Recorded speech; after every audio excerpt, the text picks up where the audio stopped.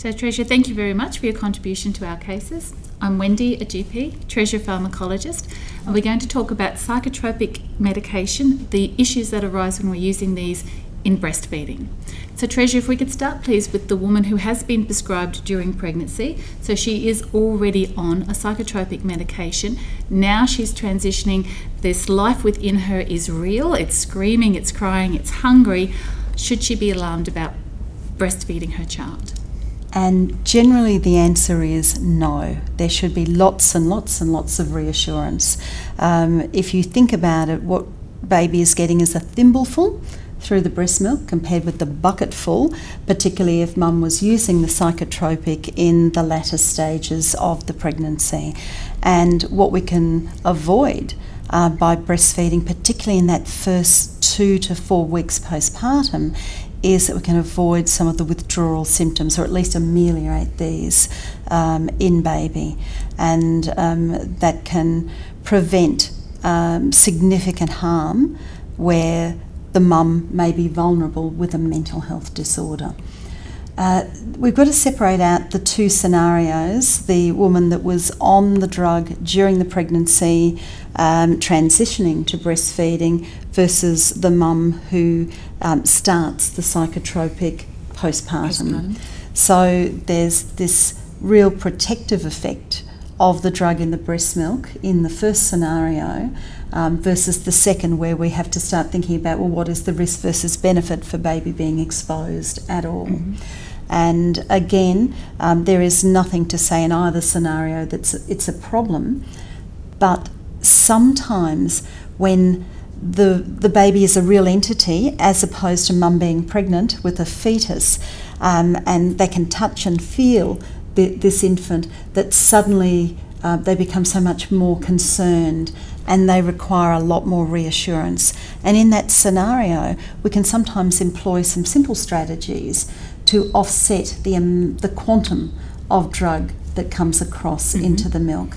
So the specific advice there would be? Okay, so if you think about um, basic pharmacokinetics and an immediate release dose form, so a tablet, a capsule, a mixture, as and so I'm not talking at the moment about a controlled release dose form because there you get a constant plasma level and you can't um, adjust the feeding in association with the dose.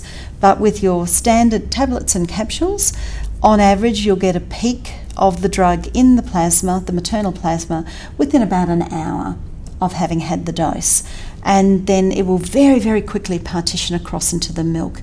Once it peaks in the milk, and the amount that gets across depends upon um, the extent of plasma protein binding, um, volume of distribution, the lipophilicity of the drug. If it's very lipophilic, um, and most CNS active drugs are lipophilic because they've got to get across the blood brain barrier. So they tend to like to partition into the milk. But they only stay there for a limited period of time. As soon as you reach your peak in the milk, it starts to partition back very quickly because it's mum's liver and kidneys that are going to be chomping up the drug through this, this compartment.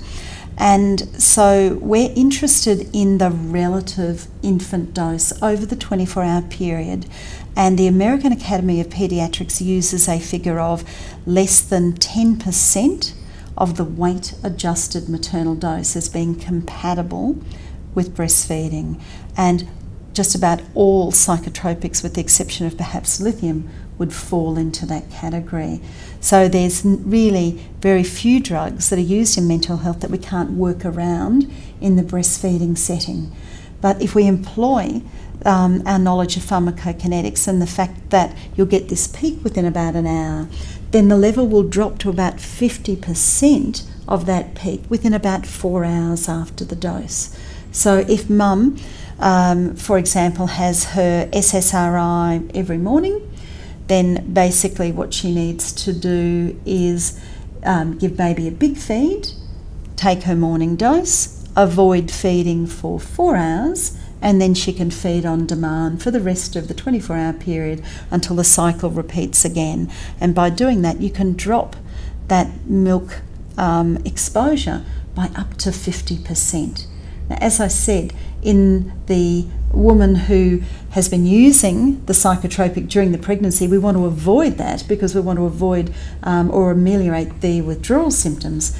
But in the baby that doesn't need to be exposed to the medicine, um, this is a very useful technique because it tends to improve adherence, maternal adherence, by thinking she's got some control mm-hmm. and she's not powerless um, in exposing her baby to this medicine.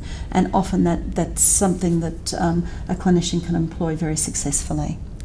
So newborns, of course, feed very frequently. Yes. Um, we would actually want to use proactively that mm-hmm. that a higher uh, dose, but realistically probably it won't matter just she has the medication exactly. when it suits, suits her, her, baby will feed probably within two or three hours, hours. Of, of that regardless of when she last fed uh, and baby will be getting that thimbleful yep. which will help but for perhaps a, a, mother further along the track with a diagnosis of postnatal depression we can introduce that for a better controlled um, if situation. Mum is anxious about the dose. Yes. There is no need to make life more difficult mm-hmm. for everyone. Yes. Um, if mum's happy to breastfeed. But if there's some hesitancy, if there's a barrier, then that can be a way of overcoming that and keeping the mum stable on her medication. So perhaps a preemptive strike before the mother in law mm-hmm. or the blogs or the internet or yeah. the CMI mm-hmm. makes that mother very anxious that this is not a safe thing to expose her baby to. We can say you can reduce the total amount of drug that your baby receives by, by this strategy. This strategy. Exactly. Okay, but from a pharmacologist perspective, these are safe medications to use exactly. while breastfeeding. You have no concern or hesitation, except lithium. And the issue yeah. with lithium? Lithium, even though it's watery, it's hydrophilic. Mm-hmm. So you'd think there wouldn't be that much that gets across, but because it's such a small molecule, it actually has very high plasma levels.